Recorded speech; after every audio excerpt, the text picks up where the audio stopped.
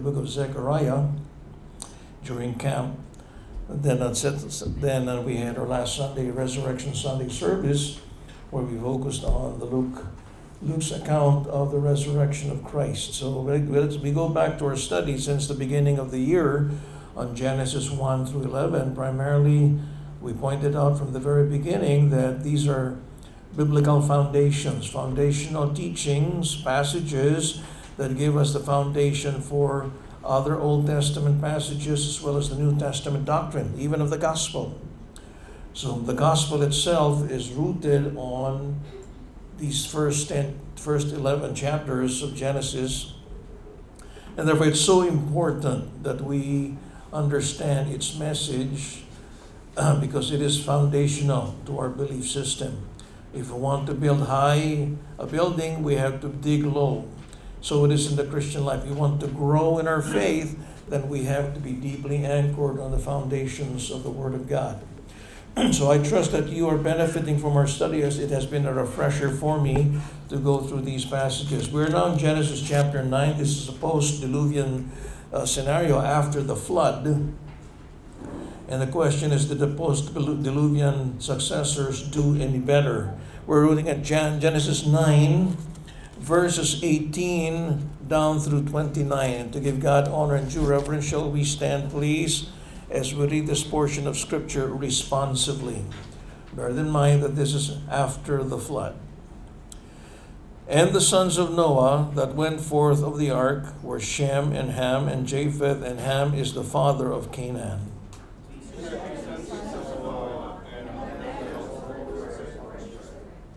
And Noah began to be a husbandman, and he planted a vineyard.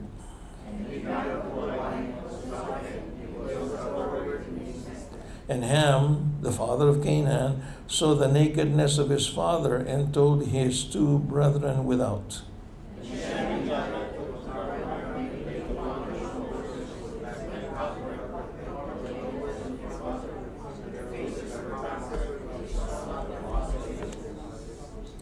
And Noah awoke from his wine and knew what his younger son had done unto him.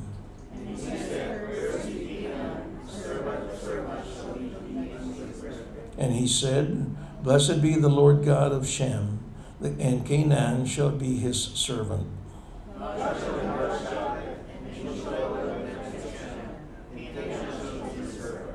And Noah lived after the flood 350 years. 29. And all the days of Noah were 950 years, and he died. Father in heaven, we come humbly before thee. Thank you for these opening chapters of the Bible. They surely lay down for us the beginnings of human history, the beginning of creation, the beginning of man, the beginning of the family, the beginning of sin, the beginning of uh, redemption, the beginning of uh, Israel, and so on and so forth. So thank you for these portions of Scripture. You did not leave us in the dark, groping through a trial and error method and trying to figure out where we came from, what is our purpose, and what is our destiny. So speak to our hearts afresh equip your saints with the work of the ministry and of your word so that we can uh, articulate these truths to friends and loved ones who also need to know the gospel and how they can get right with you through the merits of Jesus Christ. So thus we ask, open our eyes that we may behold wondrous things out of thy law. We shall thank you for it. For this we ask in Jesus' name. Amen. You may be seated. We're looking at the oracle of Noah the cur- and the curse of Canaan. Okay? We're looking at Genesis 9, and from the very beginning of the year 2024, which is amazing, we're already in April. Uh, we're entering the second quarter of the year, or the end of the first trimester. Time is flying so fast. but uh, it's to me, it's encouraging and refreshing for me to go through these chapters, the opening verses of Scripture, to help us understand, like we mentioned, it answers questions like where did we come from, why are we here, and where are we headed, what is our destiny. Very basic life's basic questions that need answers, and they need to be definite answers that come not from the fallible opinions of men, but the infallible truths of the Word of God. We find them here in these first 11 chapters. where the scenario of the Holy Spirit gives us what's going on all, all around the world from the beginning of time and the beginning of creation to the fall and so on and so forth. While there are people, critics, liberals, rationalists who question the authenticity of the record, we already put those arguments to silence by citing no less than the Lord Jesus Christ as basis for believing its historicity and, and authenticity.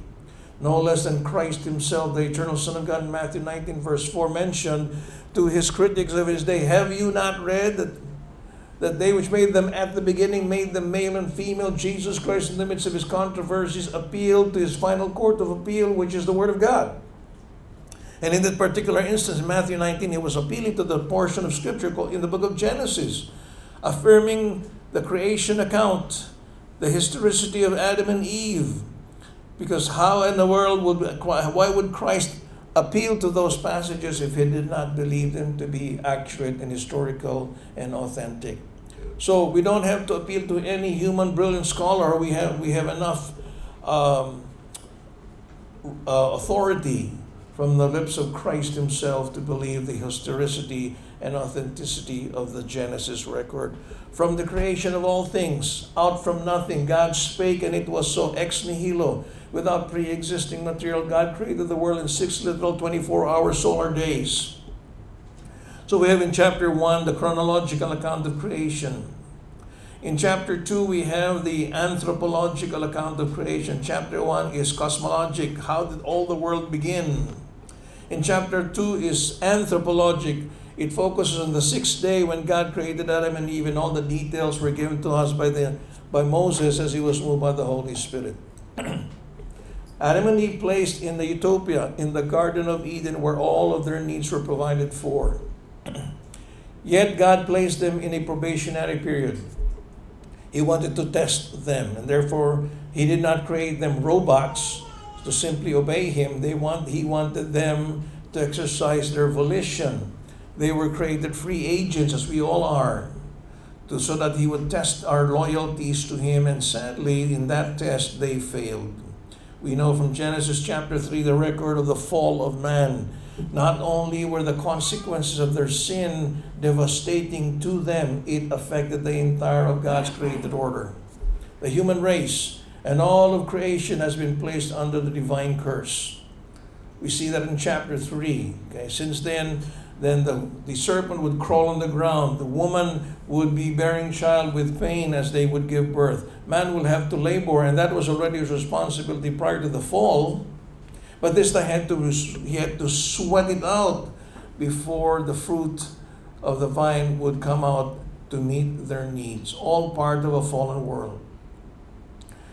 And that explains why we are living in the kind of world in which we live.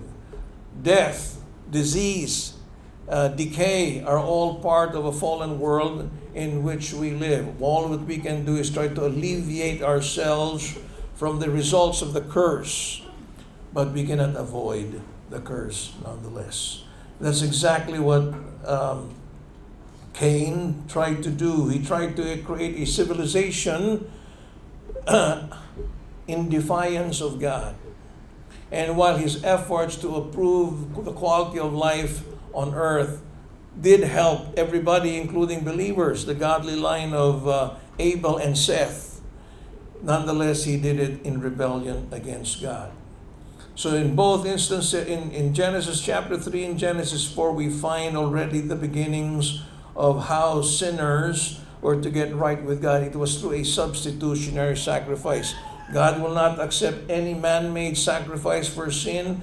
God will have to be the one to provide the sacrifice. Salvation is of the Lord. It has to be death by an innocent substitute, and it has to be by the shedding of blood. This has been established from the very beginning, written in the book of Genesis is to be read by the Jews. This is part of the Torah, Genesis 1 through 5, the Pentateuch, so that the Jews will be familiar with how God dealt with sinners way back then, how to get right with God. It was included in the canon so that even the church today would learn how things began, how since man fell into sin, how would they get right with God? It was through a substitutionary sacrifice, which all pictured or typified the coming Lamb of God who takes away the sins of the world. So while Adam, after Adam and Eve's fall, eventually life moved on in a fallen world. Chapter 4 and chapter 5. Chapter 5 is a record of the genealogy where we are constantly reminded that of the effects of the fall. The lineage of Adam down the line, and in every case it says, and they died. Except in one instance. Enoch walked with God, and he was not, for God took him. The only record in Genesis 5 during those days when somebody did not taste physical death. The New Testament predicts that also. Enoch was a type of the New Testament church saints who will not taste death. Maybe you and I will be part of that generation. I am I believe that to be the case, although I cannot be dogmatic because we don't know the exact time of the Lord's return for the rapture. But in other words, we already have a precedent of sinners who did not taste death in the person of Enoch. And then we have the son, his son Enos, and down the line to uh, the godly line of Enoch and Enos, which is Noah. Despite uh, escaping, uh, despite the fall, you would think that man would have learned their lessons. But history has a tendency to repeat itself, doesn't it? as the saying goes, if there is one thing we can learn from history, is that we never learn from history. So, despite the fall in the Genesis chapter 3, Genesis chapter 6 tells us that the wickedness of men was great in the earth, and the imaginations of their heart was only evil. It doesn't say sometimes or occasionally, it says continually. So, God had to judge the world with a worldwide deluge, a worldwide flood. To this day, we've, we, there have been archaeologists who have figured out the tried to trace the location of that ark, Noah's ark, and they have found it somewhere in the boundaries of, uh, of Russia, Mount Ararat, exactly where Genesis tells us. They have found the the uh, the ark, at least the, some of the structures of the ark there, only reaffirming the Genesis record. We are now in chapter 9. We've seen chapter 6, 7, 8, and beginnings of chapter 9. When after God judging the whole world with a worldwide flood, so that there were only eight souls who got saved Noah, his wife, his sons, and their wives. Nobody else got saved. All of all that had breath had to die, including all animals except those who were in the ark. And it is a call for all believers, all people today also, if they want to be spared of coming judgment, there's only one place, and that's in the ark of safety, who is in a person of the Lord Jesus Christ. If you have not trusted in Christ as your Savior, you will die in your sins. We're now looking at chapter 9. We've seen in the beginning verses of chapter 9 the Noahic covenant. After the flood, God placed himself into a covenant with Noah, and there he authorized the death penalty. Okay, anybody, if you wonder, since there was a worldwide destruction of human life and earthly life, everything that had breath, eventually God emphasizes the importance of life because anyone who commit the sin or the heinous crime of murder was authorized by the human government to execute the death penalty. The Bible does teach capital punishment. It is all over the Old Testament. It's also indicated in the New Testament. Sadly, many cultures today and countries have departed from that biblical design for the sake of what? Humanism. Higit sa lahat tao. What will make life more comfortable for man without any regard for God and His divine oracles. We come to the second part of Genesis chapter 9, and here we have again how painfully honest the Holy Spirit is. The Holy Spirit tells it like it is. We have a hero of the faith, Noah, instrumental in making a stand in the midst of the worldwide flood, falls in drunkenness. With the Noahic covenant in place, the focus turns properly toward what will become of the survivors of the flood and of their descendants or their progeny. Did they, these post diluvian successors, fare better? We already mentioned history has the tendency to repeat itself. So after the worldwide flood, you would think, just like after the the, the, the, the fall of man in Genesis 3, man would have learned his lesson. Here we have after the worldwide flood, again, people did not learn their lesson. Again, we find no less than Noah himself showing his weaknesses. So in chapter 9, notice verse 18 and 19. It says, And the sons of Noah that went forth of the ark were Shem and Ham and Japheth. These were the sons of Noah. And Ham is the father of Canaan. That phrase is often repeated in this chapter. Why? Because the Jews who will read that and say, Ham is the father of Canaan. Because remember in the Old Testament, the Canaanites, these are the ancestors or descendants of Ham. The Canaanites were the people whom God instructed the Jews to drive away in the land flowing with milk and honey. The Hittites and the Jebusites and the Canaanites were to be driven away because of their lawlessness and their wickedness. So Moses introduces uh, the Canaanites here, that Ham was their father. Verse 19, and there these are the three sons of Noah, and of them was the whole earth overspread. These verses bring to an end the flood account. and they prepare the way for chapter 10, which is the table of nations. We'll be touching that next week. In other words, all of humanity not only came from Adam, all of humanity came from Noah's descendants Shem, Ham, and Japheth. And we will see in chapter 10 next week how we belong to the descendants of Ham. The Jews came from the descendants of Shem. The Japheth, Japheth migrated towards north, as we will see in chapter 10. That's where the Russians and other people from the north came from. but we will talk more about that next week. There are key lessons that we will find. In other words, these 18 and 19 are introductions. They can serve as an introduction to chapter 10, verse 1. Now, these are the generations of the sons of Noah. Shem, Ham, and Japheth, and unto them were sons born after the flood. Okay, so you want to trace your genealogy, we are given an inspired record of where we actually came from. Three main points in our message this morning. Point number one, if you have your your notes with you, response to decadence must be ethical must be with ethical purity and not moral abandonment. That's lesson number one. Response to decadence, decadence or the proper response to wrong living must be with ethical purity. We cannot do two things never make a right. If somebody's wrong, then we don't, that's not an excuse for us to live wrongly. We have to respond with ethical purity, not moral abandonment. Point number two God will bless the righteous but curse those who act with moral abandonment. It was so then, it's still true today. And lastly, we will see in the last verse that the, the realities of a fallen world remain even during the post-Diluvian era. Okay. Like I said, you would think man would have learned his lesson after a worldwide catastrophe, like a global flood. But nonetheless, the realities of a fallen world remain the same. It's a new world. No more wicked people. And yet we see wickedness again surfacing. Why?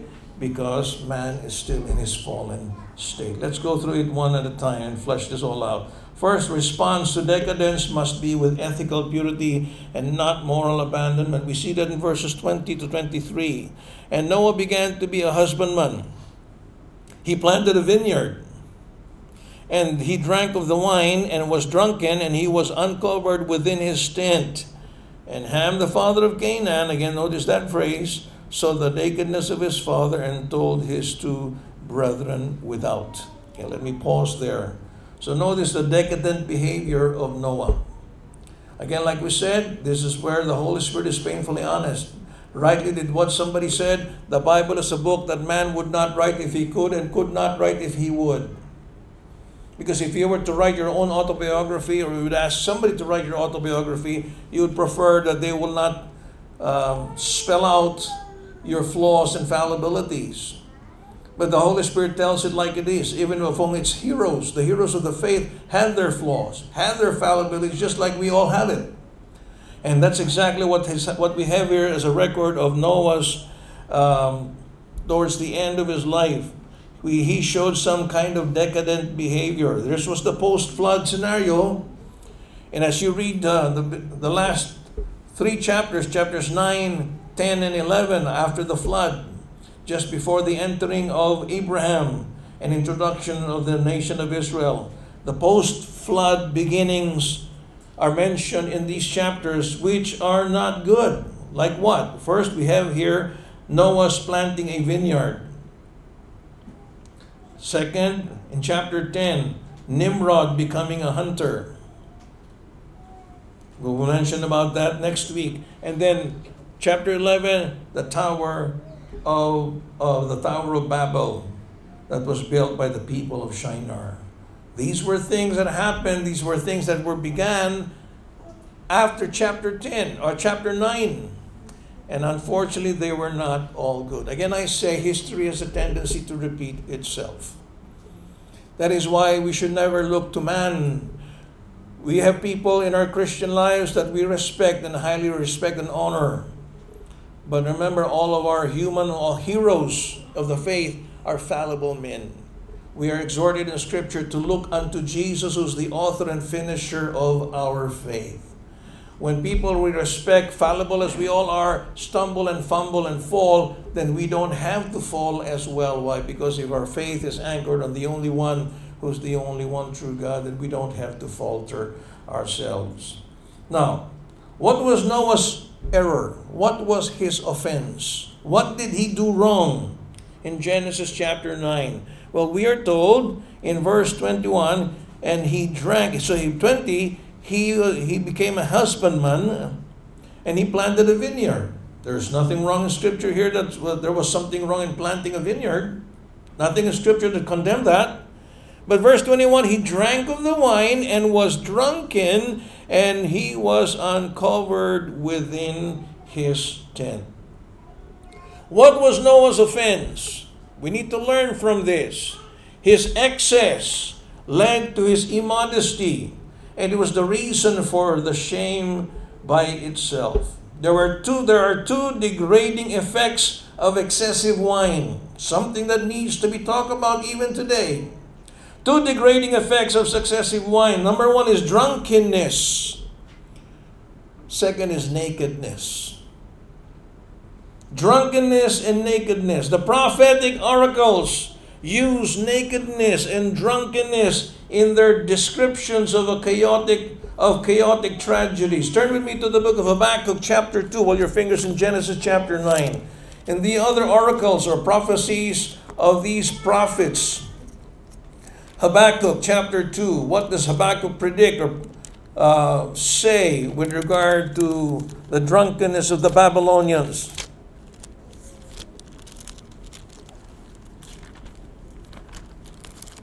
Okay, Habakkuk chapter 2. Notice what it says in verse 15. He was giving the woes against the Babylonians. Chapter 2, verse 15. Woe unto him, and he's referring to the Babylonians here, that giveth his neighbor drink, that puttest thy bottle to him, and makest him drunken also, that thou mayest look on their nakedness. Not a favorable statement for drunkenness. In fact, it has a strong woe against those who give his neighbor drink. It is bad enough to be drunk with wine wherein is excess or debauchery, but here it even condemns giving to his neighbor drink. Woe to him! This is exactly what the Babylonians were guilty of, and isn't that what many are guilty of today? We can dwell on this point because of the prevalence of drunkenness and wine drinking in our day. But this is what the Bible says. Turn to the book of Lamentations. When was the last time you read the book of Lamentations? Lamentations were written by Jeremiah. And Jeremiah was lamenting or weeping because of the fall of, Bab- of, uh, of Jerusalem and, and Judah under the hands of the Babylonians. He saw the sacred holy city of Jerusalem fall into the hands of Gentile world powers and turn into Jer- Lamentations chapter 4 and in verse 21. Rejoice and be glad, says Jeremiah, O daughter of Edom, that dwellest in the land of Uz. The cup also shall pass through unto thee, thou shalt be drunken and shall make thyself naked.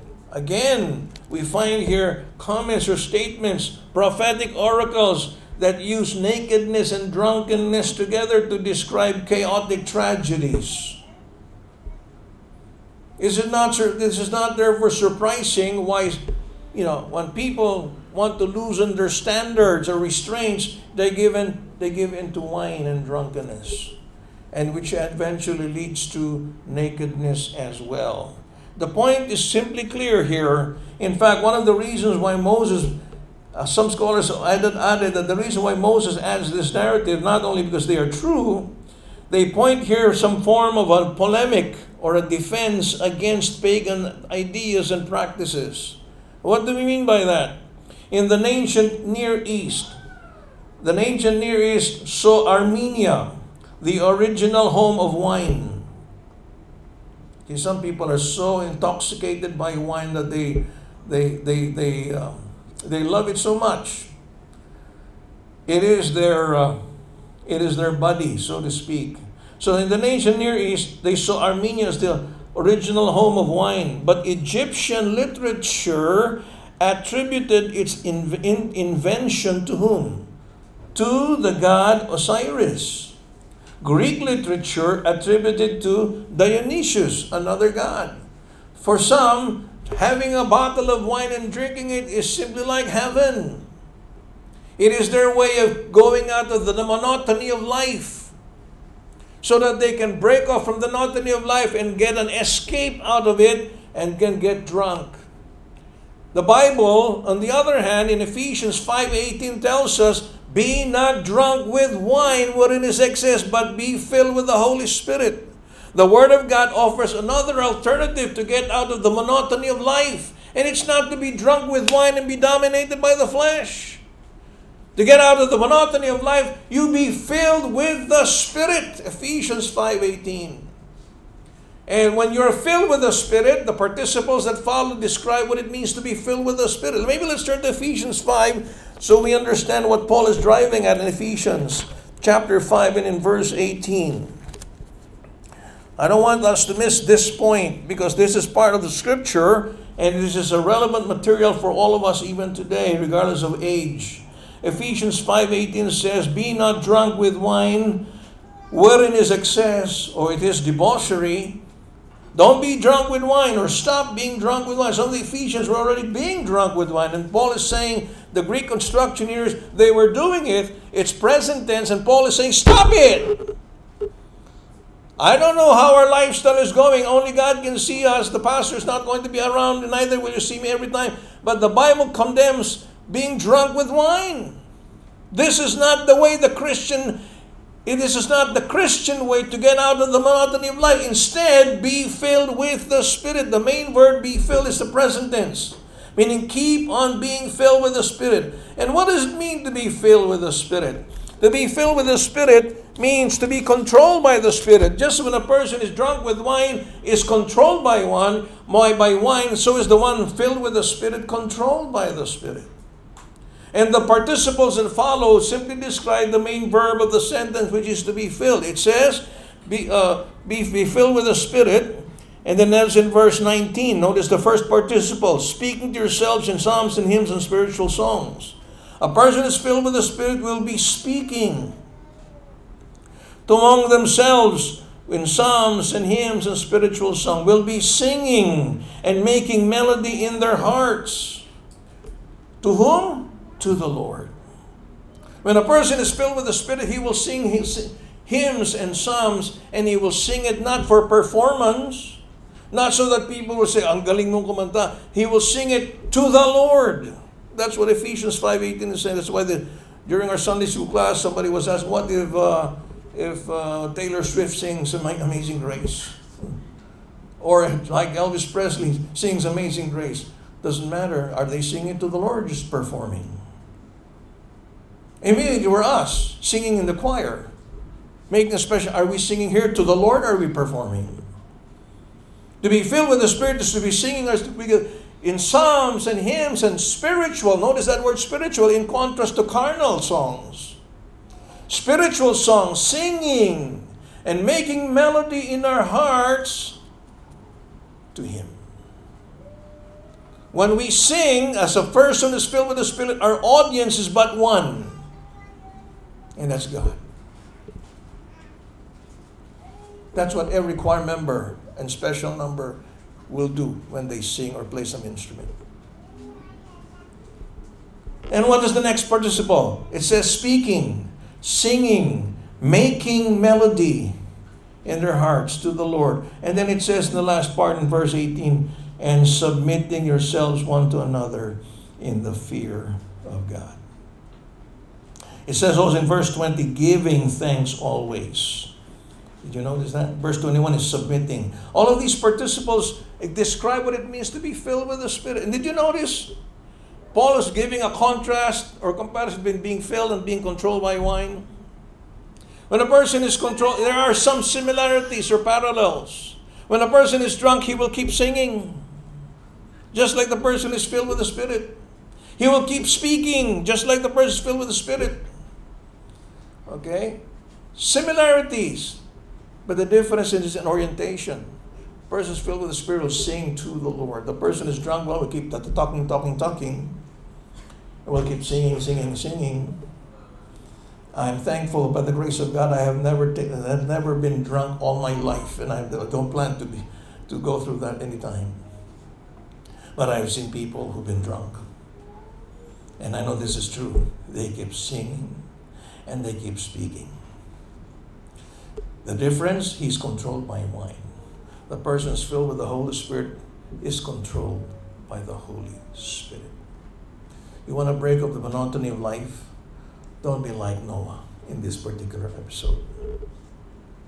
Be filled with the Spirit. Let's go back to the text. Genesis chapter 9. So while Greek literature attributed um, the origin of wine to Dionysius, the god Dionysius, and the Egyptians attributed to the intervention of the god Osiris to them. Well, it's heaven when we drink wine. In the Genesis record, the origin of wine and its effects. This is the first time we see a person drunk in the Bible. The origin of wine and its effects was anything but divine. It has all the trappings of depravity. Let's go back to Genesis chapter 9. I can dwell with this point, but there's so much material to cover this morning. We're already uh, 1207 in our time. Notice, not only we have decadent behavior, we have moral abandonment.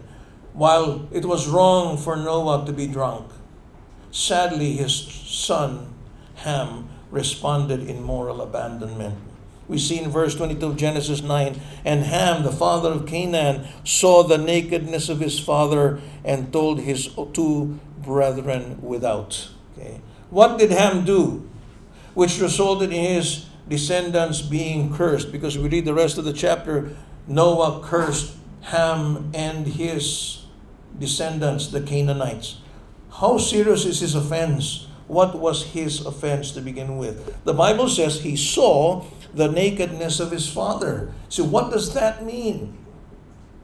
Well, it is a euphemism. You know what a euphemism is, right? A euphemism is a nice way of saying things. It is a euphemism for some sin. So, what, what does it mean? The Talmud, which is the law book of the Jews, is the compilation, the interpretation of Jews of the Old Testament. The Talmud records that what happened is probably they suspect that castration took place. In others, maybe Ham castrated his father. And their support is found in Genesis 9:24, which is not really a clear support. It says Noah awoke from his wine and knew what his younger son had done unto him. what did he do? There's nothing there that suggests castration. And yet the Talmud suggests that. Others suggest that being he was remember in verse 23 that he was un, he uncovered the nakedness of his father. That's the fault of, of ham. Shem and japheth took a garment and laid it upon both their shoulders and went backward and covered the nakedness of their father and their faces were backward and they saw not their father's nakedness unlike ham. So what does that mean? Others think that that means ham engaged in incest with his mother Noah's wife. Say, well, that's really more than what the text is saying, but that's what some others say. In other words, that's the reason why Canaan, Ham's ancestry was cursed, because he, that was the offspring of this incestuous relationship. So, where do we stand? There is very weak evidence to these views. The truth is, when we read the passage plainly, he did nothing other than see his father's nakedness. Apparently, Noah was so drunk so that he had, you know, removed his shirt, whatever, naked, and fell on his bed naked. And Ham entered that room and saw his father's nakedness. That's all. It was an act, however, that was serious enough to prompt the oracle on Ham's descendants. It was serious enough in order to curse Ham's descendants. Why? Because during that time, to be exposed, and even today, to be exposed meant to be unprotect, unprotected. To see someone uncovered or naked was to bring dishonor and to gain the advantage for potential exploitation. Ham's seeing was the disgusting thing. Ham's errant looking, which is a moral flaw, represented the first step in the abandonment of a moral code. It was just the beginning of what led to sin even, even further. This violation of a boundary destroyed the honor of Noah. We find looking in Scripture as a sin in other portions of Scripture. Do you remember what happened in Genesis 9.26? Very quickly, let's turn there in Genesis 9. What happened to Lot?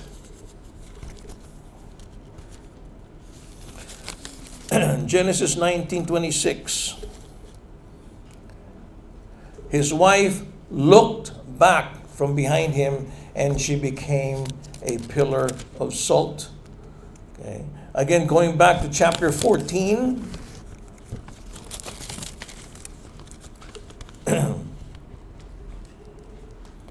Notice in chapter 14 and uh, so Abraham and Lot's people were having some kind of a squabble. So Abraham said, You go left, I turn right. You go right, I turn left. Okay, and it says in chapter uh, 13, rather, notice in verse 10, 13, verse 10, verse 9. Abraham said, Is not the whole land before thee? Separate thyself, I pray thee, from me. If thou wilt take the left hand, I will go to the right. If thou wilt depart to the right, I will go to the left. And Lot, what does it say? He lifted up his eyes. He was living by sight rather than by faith. And beheld all the plain of Jordan, it was well watered everywhere before the Lord destroyed Sodom and Gomorrah, even as the garden of the Lord like the land of Egypt as thou comest unto Zoar. And therefore, that was the step, the first step, looking. He lifted up his eyes. And then verse 11, he chose all the plain of Jordan and journeyed east eventually and dwelt his tent towards Sodom in chapter in that same chapter. See. So, remember that old song that we teach our children? We need to sing this again. So, be careful, little eyes, what you see. Those seductive look could be dangerous. It could be an indication of a fall already. So, the violation of a boundary destroyed the honor of Noah. Not only did he see his father's nakedness, the, the taboos of looking against such looking we find in Genesis 19, Exodus 33, Judges, 1 Samuel 6. Remember Matthew chapter 5 says, anyone who looks at a woman with lust has committed adultery. Psalms 101 verse 3, I will set no wicked thing before my eyes. Something that we all need to be resolved in doing as well. Be careful, little eyes, what you see. His go- And Ham's going to tell his brothers about it without covering the old man aggravated the act. In other words, Ham, it's indicated that he ridiculed the old man's downfall. Yes, Noah was wrong. It was a flaw on his part. He got drunk. But in the ancient world, Ham's actions was not was not to be overlooked. In the ancient world, insulting, listen to young people, listen here. Insulting one's parents was a serious matter that warranted the extreme penalty of death. You see that in the theocracy of Exodus and Deuteronomy. Here this passage, this narrative illustrates the abrogation of the fifth commandment. What is the fifth commandment? Honor your father and mother, even if they're wrong. It doesn't say honor your father if they walk with God. See, the years of obedience may cease when you get older, but the years of honor remain. The word honor is the Greek word timao, which means to give value. It's equivalent of the Hebrew halal, which means to give honor and value. Children and even adults, God's word commands honor, value your father and mother. This is the flaw and the fault of him. In other words, he ridiculed the old man's downfall.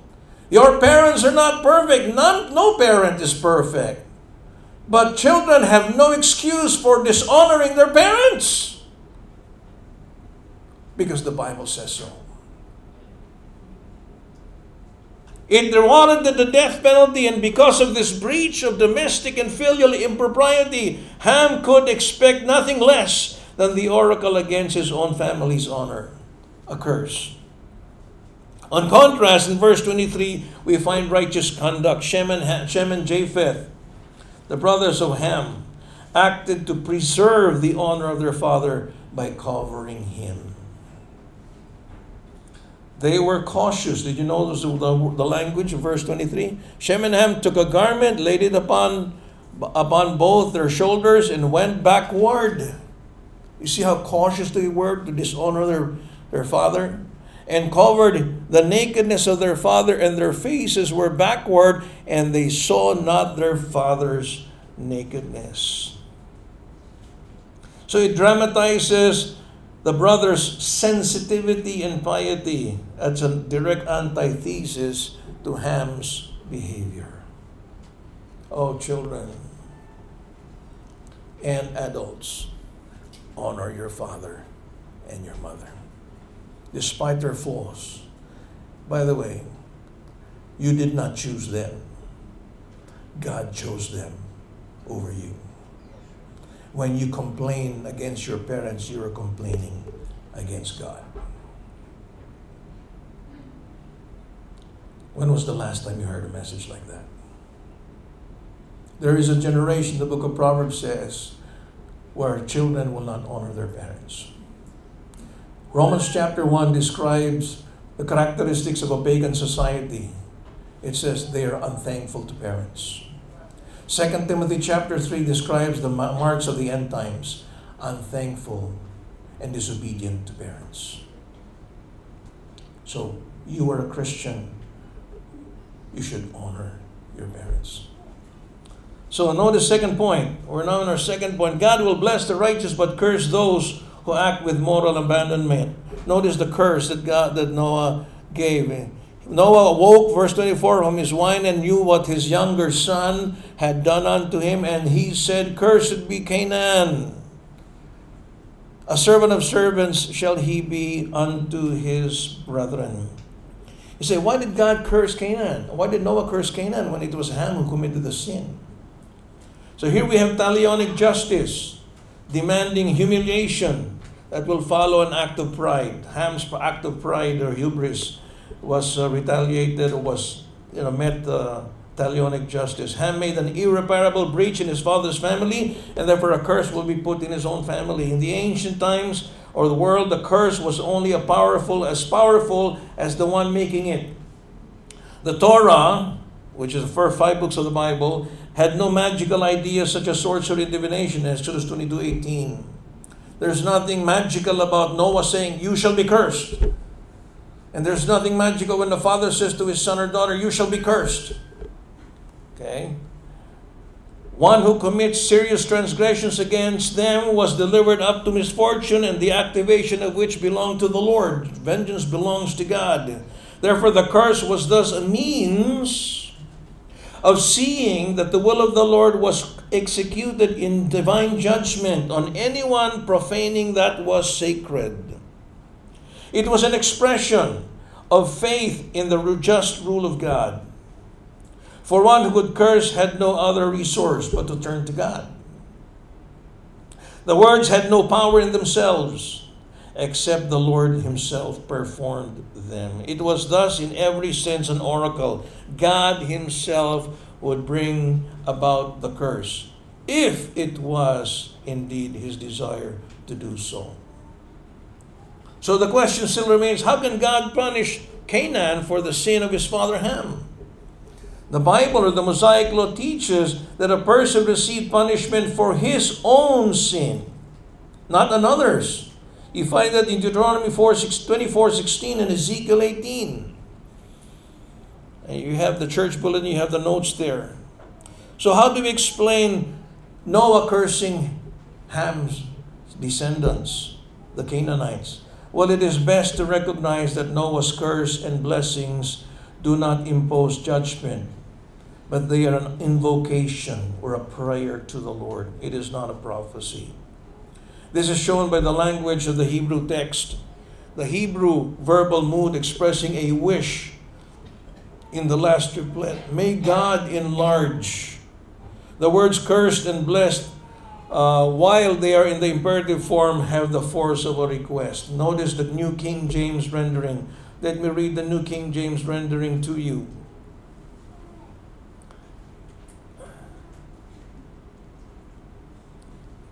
Let me see if I can see. Okay. The New King James renders it this way. And he said, Noah said, Blessed be the Lord, the God of Shem, and may, may Canaan be uh, may Canaan be his servant. May God enlarge Japheth, and may he dwell in the tents of Shem, and may Canaan be his servants. Notice how it's rendered. It's rendered as a request or invocation or as a prayer. So, so in other words, we have here a request instead. let me go back to my notes here.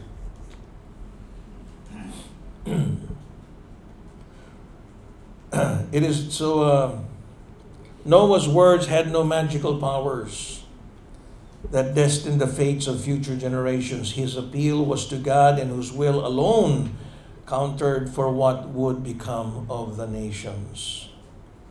But notice the second half of the, of the curse. Cursed be Canaan. He shall be the servant of servants. Noah using the superlative. That is the most abject slavery. Canaan would serve his relatives Shem and Japheth. Shem was the father of the Jewish nation. Japheth was the father of those who migrated north, the Russians and etc. Okay, uh, the North Americans and the like. Ham's descendants went to down South Africa, and even we are actually part of the descendants of Ham. The Torah does, does incorporate judgment from one generation to another in Exodus 25, where the later generation must be judged for the sin of an ancestor. Uh, the Torah, which shows that God deals justly with all people, suggests that Noah anticipated him, Canaan, the evil traits that marked his father Ham. And the text prepared the reader for this conclusion by twice pointing out that Ham was the father of Canaan. It was directed to his distant descendants who retained their traits. In other words, everything that Canaan did in their pagan existence after Ham passed out from the scene was symbolized by the attitude of Ham. From the moment the patriarchs entered the land, these tribes were there with their corrupting influence. The Torah warned about the wickedness of the Canaanites in terms of all that called to mind the violations of Ham. And because of these sins, Canaanites were defiled and were to be driven out from the land by the Israelites before the Israelites. These descendants, the Canaanites, were not cursed because of what Ham did. They were cursed because they acted as their ancestors had. And it took an oracle of the Lord to reveal and, uh, and announce this. In verses 26 and 27, we have the blessing. The blessing was given to Shem. The idea that Shem, notice the blessing was given to Shem, but he, he blessed the God of Shem. The idea is that Shem would see or ascribe his good fortune to the Lord. For his advantage would be his relationship to the Lord. It would be clear to Israel that they were the heirs of the blessing, since they will be the ones who receive, who will read the, the Torah. As they encountered the Canaanites, they would know that the blessing subjugated the Canaanites to them. The prayer of Japheth's share in the blessing is strengthened by another wordplay in Genesis 9:27. There will be peaceful cohabitation between the Japhethites and the Shemites, or at least alliance in the subjugation of Canaan, for Japheth shall dwell in the tents of Shem. And we have here the dominant feature of this oracle, the cursing of Canaan. Canaan shall be his servant, in other words. It was a narrative immediately that precedes the table of nations of chapter 10 it was preparing the reader and introducing this was the this was ham the father of the canaanites of whom in chapter 10 you will see his descendants and eventually in chapters 11 and 12 11 they built the altar of the tower of babel in chapter 12 the reason why god calls on a man out of them who was abraham. The point is God's preparation for the giving of the land to Abraham.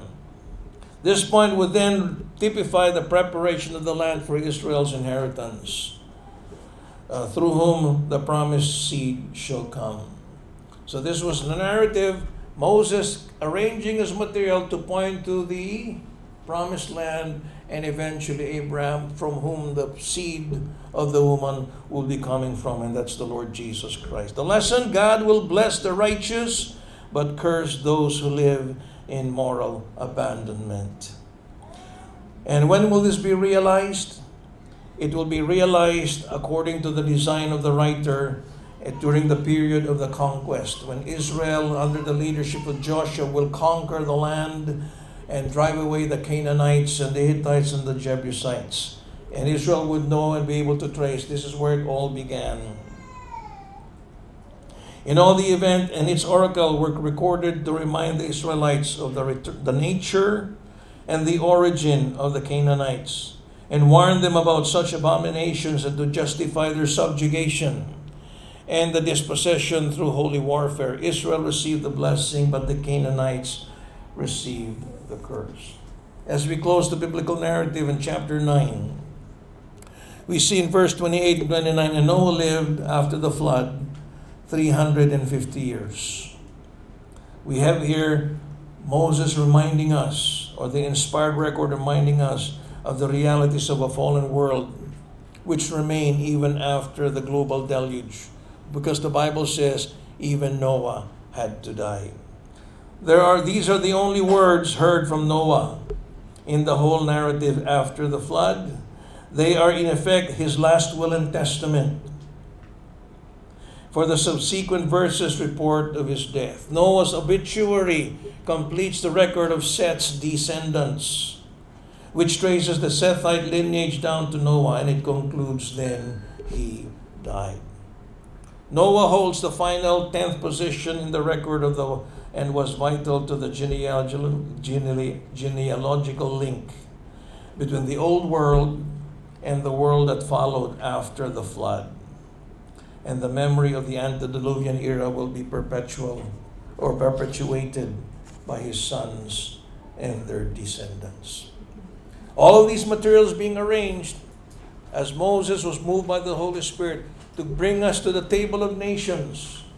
And where the table of nations will tell us where these people who built the Tower of Babel at Shinar, an organized rebellion, a religion against God and the reason why God calls out a man wherein which the promised seed will come, as Abraham in Genesis chapter 12.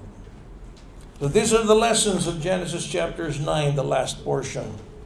The challenge is very clear. What about us?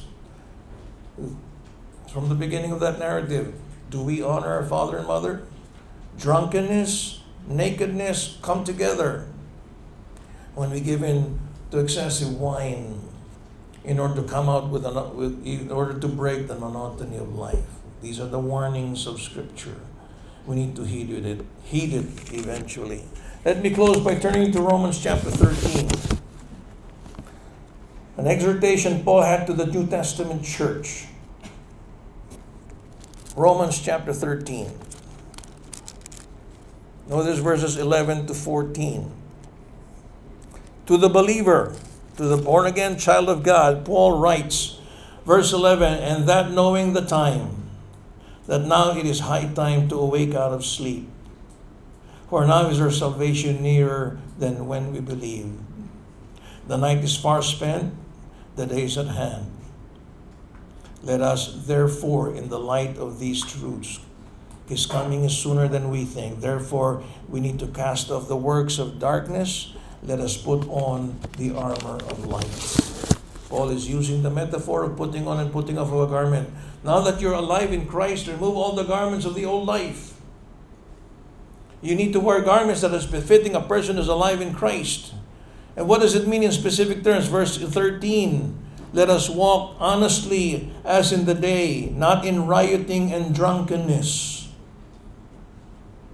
He mentions drunkenness there, lawless living and drunkenness. Not in chambering and wantonness, these are sexual sins. Not in strife and envying. Instead, we are to what? Put ye on the Lord Jesus Christ. And did you notice that last phrase there? He mentions drunkenness, rioting, chambering, wantonness, strife, and envying. And then in verse 14 he says, Make not provision for the flesh. We say, well, Pastor, maybe, yeah, Noah's sin was drunkenness because he had too much wine. Paul knew the dangers of excessive wine. And that's why he says, drunkenness is a sin. But verse 14 it says, do not even make provision for the flesh. Don't even give in to fulfill its lusts thereof. You know sinful nature. You give into the flesh an inch, it will ask for a foot. You give it a foot, it'll ask for a meter. So don't even give in. Don't make provision for the flesh to fulfill its lusts, the Word of God says. It's one of the clearest passages that talks about total abstinence for the believer. Will you heed the challenge? Our Father in heaven, thank you for these portions of Scripture that bring us back to history and where all things began. Thank you for these practical exhortations that we can learn lessons from the life of Noah and his ancestry, from a spiritual giant who fell into sin, showing the frailties of humanity despite their spiritual heights. So help us, Lord, to be careful in our steps, in our walk. Speak to our hearts that we will live in righteousness and true holiness, to be filled with the Spirit instead of being dominated by the flesh, by being drunk with wine. Heads are bowed, eyes closed, with no one looking around. I'm not going to give